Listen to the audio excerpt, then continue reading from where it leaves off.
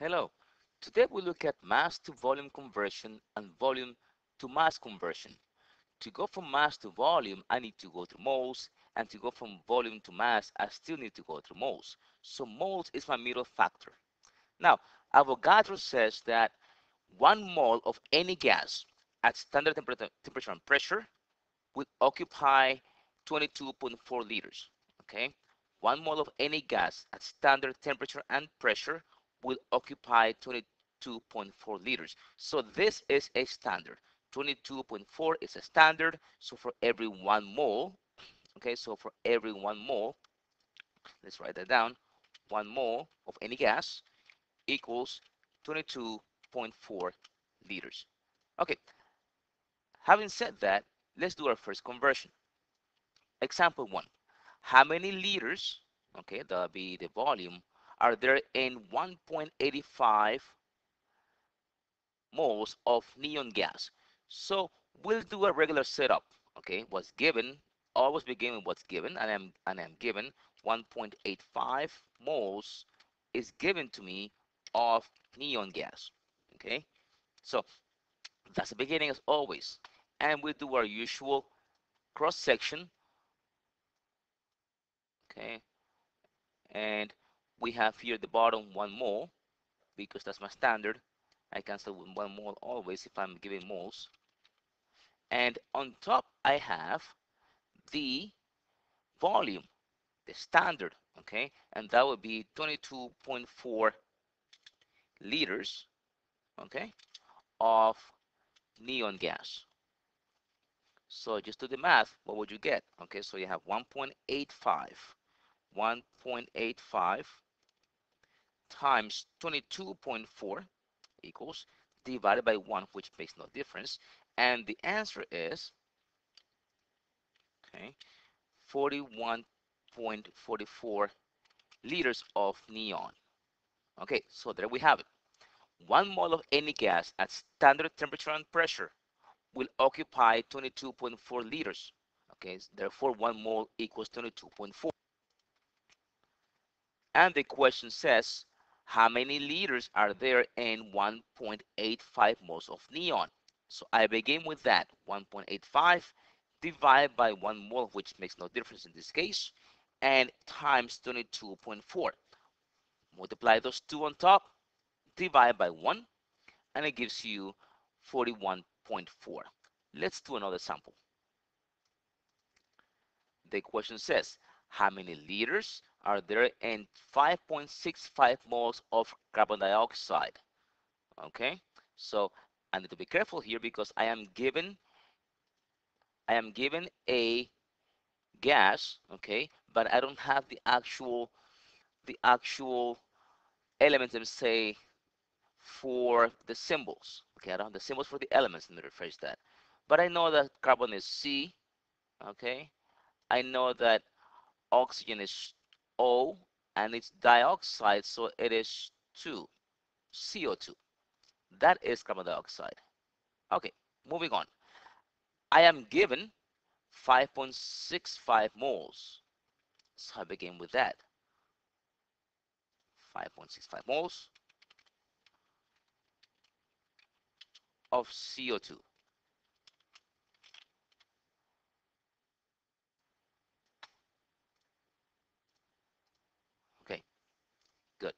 Now, my usual cross section. And I have one mole at the bottom of CO2. And I have 22.4 standard of CO2. Okay. So do the math and see what you get. So this is what I got. I'm given 5.65 moles of carbon dioxide. Okay, I just needed, needed to know the symbol so I could just write it down. At this point, it makes no really importance on, on the question. Divide by one mole, and on top I have 22.4. This is my standard. Okay, if you notice, these two numbers, okay, simply change in basically nothing so far. Okay, the only thing that changed so far is the given. So I have 5.65 times 22.4 divided by 1 And when I plug that in the calculator, I ended up with 126.56 liters of carbon dioxide. If you got that so far, we're doing a good job. Okay, now let's go in reverse. We're going to go from liters given, okay, to moles. And as usual, I begin with my given. I am given 2.57 liters of krypton, okay, and I do my usual cross because I need to cancel something, and I do cross over here, cross over there. Now, I need to cancel with liters. If I am giving liters of something, I need to cancel with liters at the bottom.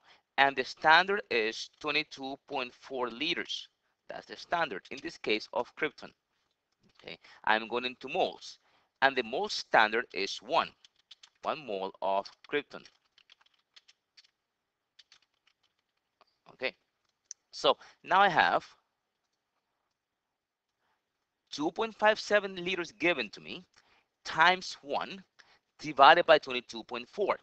This is the setup because liters here, liters will cancel liters. Okay, and uh, of course that gives you liters, cancels liters. And the only thing as far as variable left is now moles. So now do 2.57 times 1 divided by 22.4.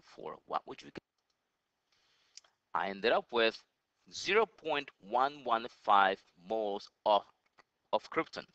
I did 2.57 times 1 divided by 22.4 and I ended up with 0.115 or 0.1147 same thing I rounded off okay to three spaces over here good good job let's do another one you try this one and see what you get we have question says, how many moles are there in 3.02 moles of nitrogen dioxide?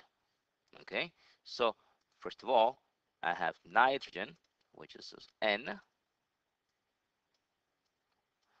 Oxygen is 2. So, oh, sorry, O2. There we go. That is regas. Do the setup and see what you get. Okay, a little correction on the question. The question should have read, how many moles are there in 3.02 liters? Okay, not moles, because I am looking for moles. So I am given 3.02 liters, cancel with 22.4, and then I have one on top, which is the standard. What would you get? Okay, so you plug in your calculator 3.02 times 1, which of course is the same thing, divided by 22.4. And you end up with 0 0.135 or 0.1348, okay, round it off, and that would be moles of nitrogen dioxide, okay, NO2. Okay, so that's what you get so far. We were given the question to find moles, and the question gave us liters. Okay, I had an error at first with moles and moles. So liters given divided by liter standard times one mole on top, and I end up with 0.135 moles of nitrogen dioxide. On this next sample, we will go from mass to moles and then from moles to mass. Let's look at the question. How many liters are there in 54.2 grams of nitrogen? I've got to be careful now. And it says just N, okay, just N itself. So I am given grams. So I need to start with what's given to me. And I'm given 54.2 grams of nitrogen. Okay, not N2, they just want me to do N. They specify that. I cancel with the mass of nitrogen, which is, in this case, is um, 14. 14 is the mass of nitrogen, and I have there 14. I'll put them on 0 if I want 2 grams of N. Okay, just N, they don't want N2, just N. And I go to, I go to here, 22.4 liters of N. And that's what I have, okay? I bypassed the moles. I could have written moles and moles, but I bypassed that. Okay, make it simpler. And now you plug in 54.2, 54.2 times 22.4. Make sure you press the equal sign, please, for enter. Now divide that by 14, and that gives me 86.72. Let's try it again. Okay, two attempts just in case we did a, an error on the first one. 54.2 times 22.4 equals divided by 14 and I end up with the same thing and it is 86 86.72 in this case liters of nitrogen. Okay so I hope you're following the sequence okay from past lessons we're saying that I begin with what's given I cancel with in this case the mass of the element okay, which is 14. And on top, I should end up with what I'm looking for. In this case, I'm looking for 20 liters, which is only 2.4 standard. Good. Let's try another one. The question says, how many grams of Cl2, now they, the one chlorine, but of course they want two, are there in 6.5 liters?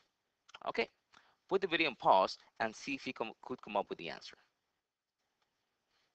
Okay, this is my answer. And I was giving grams. Sorry, I was giving liters in this case to look for grams. So liters given, cancel with the 22.4. This is your standard. Don't forget, if we have liters on top given, you should have liters at the bottom, standard. And now on top, I have the mass of Cl2. It's two of them. Each chlorine is 35.4 or 45. Okay, times 2 give me 70.9. And now I have 6.5 times 70.9 divided by 22.4. Let's try it again. 6.5 times 70.9 equals that divided by 22.4. Okay, and I ended up with 20.57 grams of chlorine gas, okay, or Cl2.